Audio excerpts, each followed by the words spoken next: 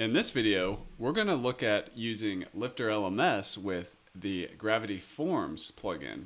And we've used Gravity Forms here to create a custom registration form for the site. So Lifter has its own registration, but if you want to customize it uh, and have more options than just name, email, address, and phone, you can do that with Lifter LMS and Gravity Forms. You can see here where for the Yoga Mom Bootcamp, we're asking how many children uh, the, the person has and then what color is yoga mat do they want because they get a free yoga mat with the course. So Freya is checking out here. She's entering her information and she's going to register as a user on this online training site. So after entering her details, she advances to the checkout screen where she can enter her credit card number. This is using the Lifter LMS Stripe add-on to process the credit card payments. So we're going to enter that.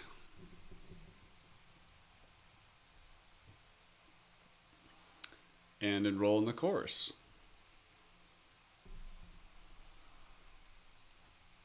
So Freya is now enrolled in the course, and now we're going to look at another use case of using Gravity Forms in LMS. We're going to go into this lesson, and you can see here we've created a simple uh, radio button form to get feedback coming in from the students. So how easy was it to find time for yoga today? I was able to squeeze in one pose.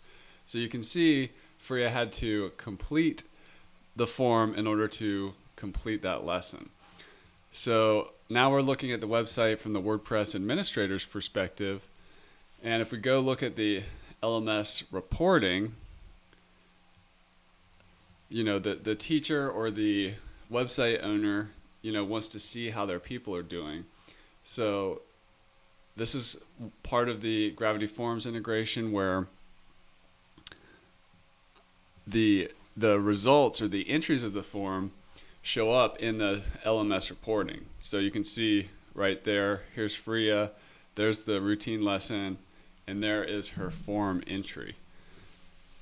So, and, and you know, the teacher could even leave a note there and, uh, you know, see, see what Freya entered on her form.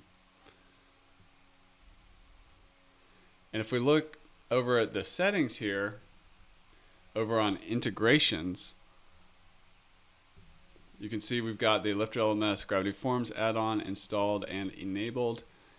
Um, we've got it turned on. And there's actually a couple different places where users can update their information themselves or just register on your site without buying something. So that's what all those settings are.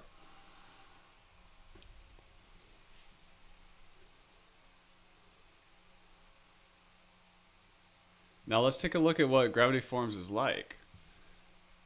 So this is the simple radio element form. So it's really simple. We could add another option here if we wanted to.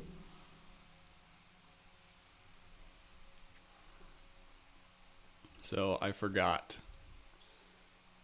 And I'm going to make that uh, required that somebody has to answer that question. You can have a form that has some questions that are optional and some are required for in order for it to submit.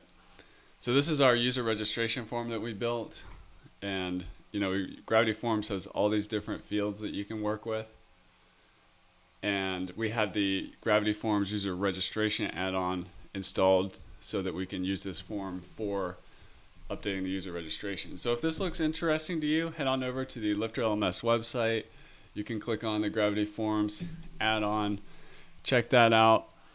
And that is uh, available by itself, but it's also part of both the bundles at Lifter LMS, which is the Infinity Bundle and the Universe Bundle. You can also get Gravity Forms through that. So that's a quick tour of Lifter LMS and Gravity Forms. Uh, you will need your own Gravity Forms product from Gravity Forms for all this to work together. And if you want to do the custom registration, you are going to need their user registration add-on. And then this product that we offer here at Lifter makes the magic happen of being able to use the the the user registration in the course or membership checkout flow and require form submissions on the site in order to complete lessons and also integrate the entries into the LMS reporting. So that's it.